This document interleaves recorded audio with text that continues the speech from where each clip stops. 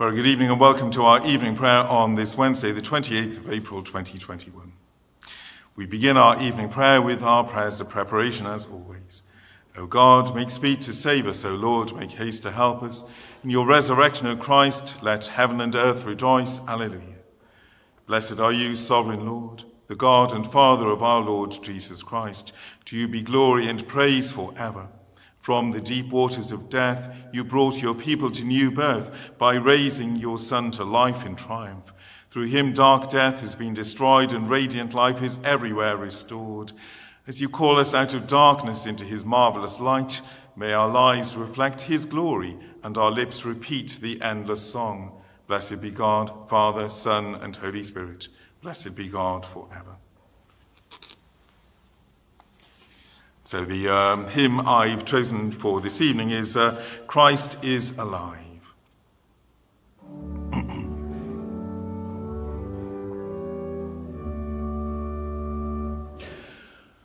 Christ is alive, let Christians sing, the cross stands empty to the sky. Let streets and homes Love drowned in death shall never die. Christ is alive, no longer bound to distant years in Palestine, but saving, healing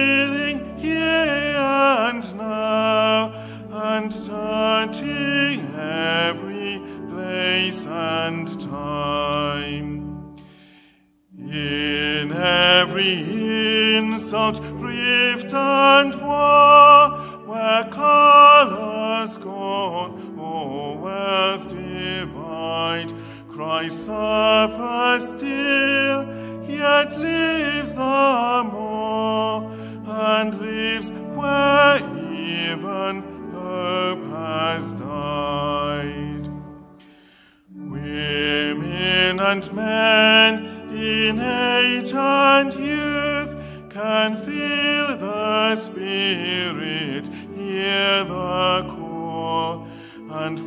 find the way, the life, the truth, revealed in Jesus, freed for all.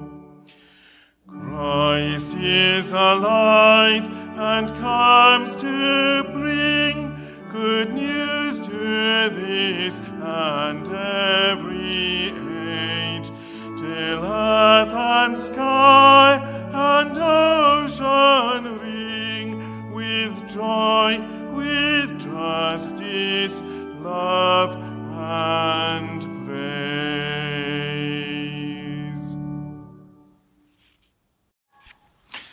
As the organist sets off, we continue evening prayer with our opening prayer. That this evening may be wholly good and peaceful, let us pray with one heart and mind. As our evening prayer rises before you, O God, so may your mercy come down upon us to cleanse our hearts and set us free to sing your praise now and forever. Amen.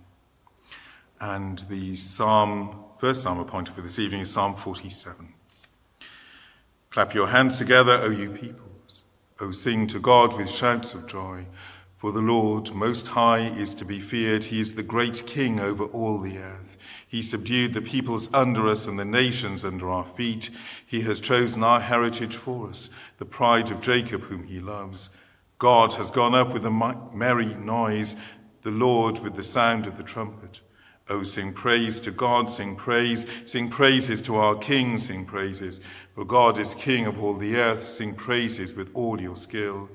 God reigns over the nations. God has taken his seat upon his holy throne. The nobles of the people are gathered together with the people of the God of Abraham.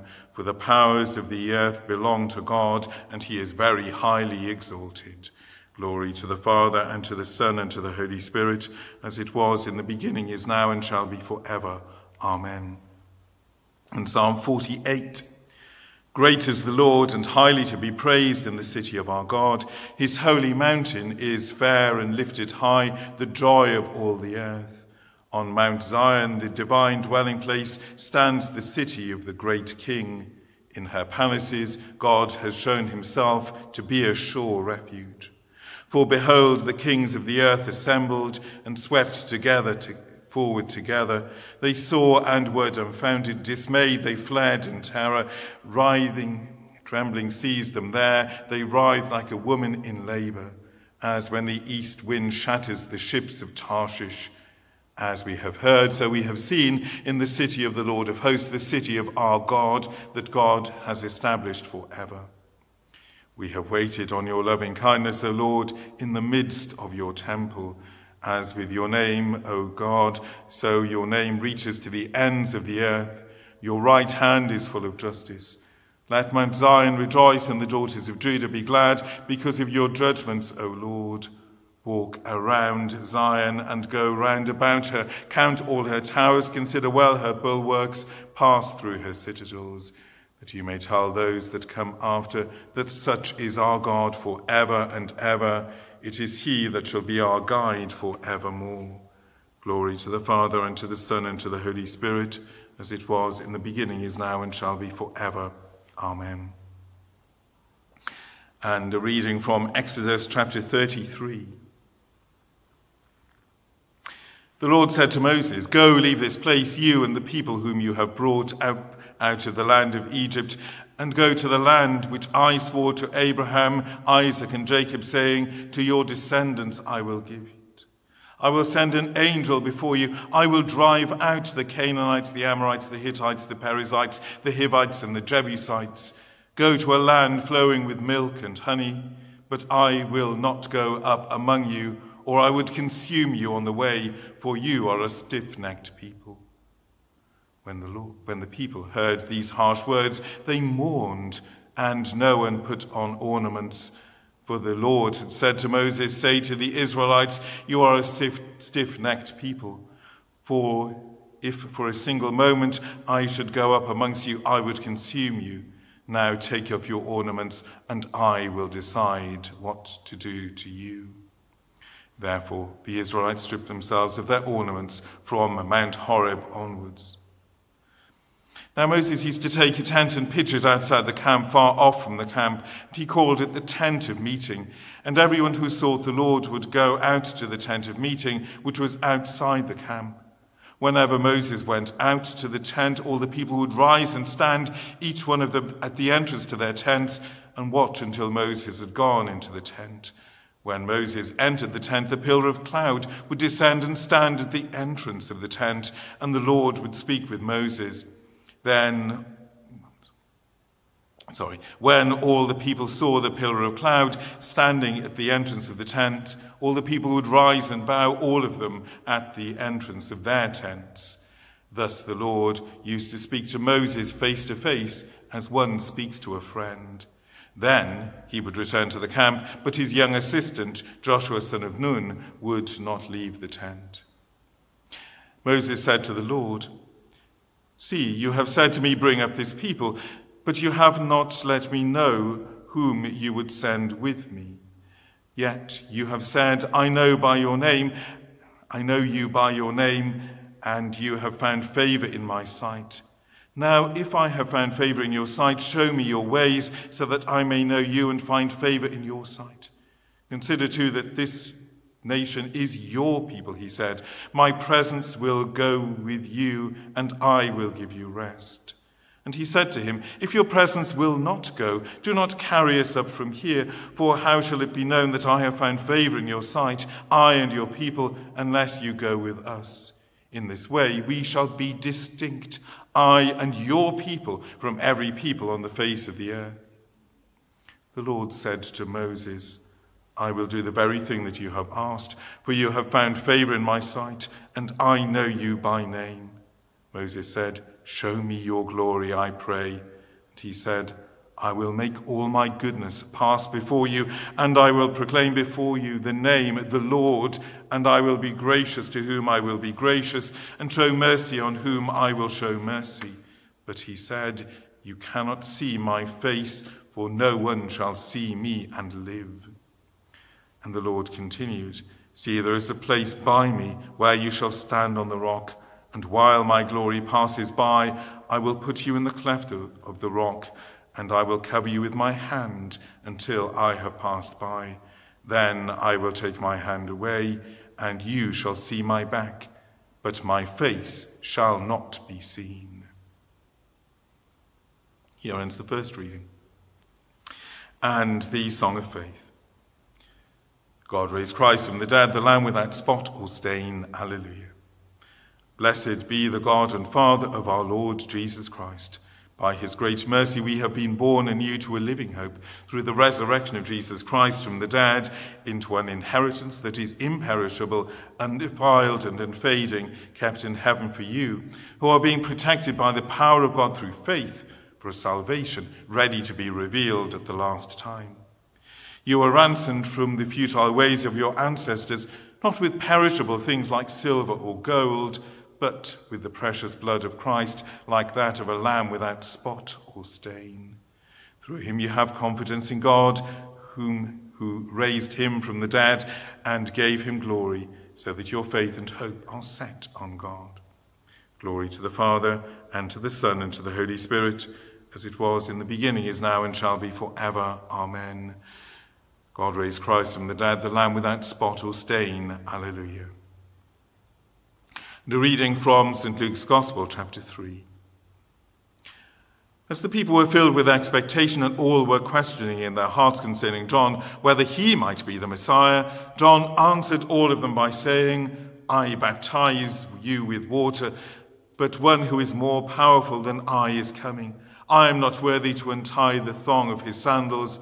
He will baptize you with the Holy Spirit and with fire. His winnowing fork is in his hand to clear his threshing floor and to gather the wheat into his granary, but the chaff he will burn with unquenchable fire. So, with many other exhortations, he proclaimed the good news to the people. But Herod the ruler, who had been rebuked by him because of Herodias, his brother's wife, and because of all the evil things that Herod had done, added to them all by shutting John up in prison. Now, when all the people were baptized, and when Jesus also had been baptized and was praying, the heaven was opened, and the Spirit descended upon him in bodily form like a dove. And a voice came from heaven You are my Son, the beloved. With you I am well pleased. Here is the second reading and our responsory. The Lord is my strength and my song, and has become my salvation. The Lord is my strength and my song, he has become my salvation. I shall not die but live and declare the works of the Lord. He has become my salvation. Glory to the Father, and to the Son, and to the Holy Spirit. The Lord is my strength and my song. He has become my salvation. And the Magnificat. The stone which the builders rejected has become the chief cornerstone. Alleluia. My soul proclaims the greatness of the Lord. My spirit rejoices in God, my Saviour. He has looked with favour on his lowly servant. From this day all generations will call me blessed. The Almighty has done great things for me, and holy is his name. He has mercy on those who fear him from generation to generation. He has shown strength with his arm, and has scattered the proud in their conceit casting down the mighty from their thrones and lifting up the lowly. He has filled the hungry with good things and sent the rich away empty. He has come to the aid of his servant Israel to remember his promise of mercy, the promise made to our ancestors, to Abraham and his children forever. Glory to the Father, and to the Son, and to the Holy Spirit, as it was in the beginning, is now, and shall be forever. Amen. The stone which the builders rejected has become the chief cornerstone. Alleluia. And so we come to our prayers of intercession.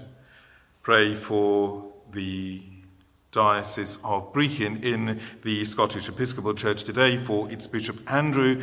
We pray for the newly appointed Provost of Dundee Cathedral, praying for her and for her ministry.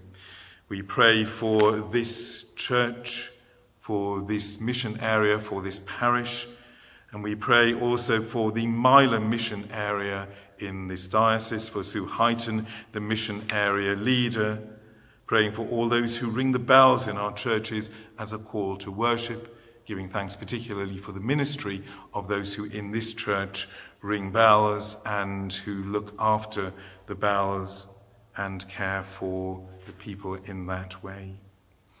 We pray as always for Gregory, our own bishop, giving thanks for him and for the responsibilities he bears on our behalf. And also we pray for John Lomas, the Archdeacon of Wrexham. We continue to pray for all those involved in healthcare in our country, for those developing, producing, and rolling out vaccines.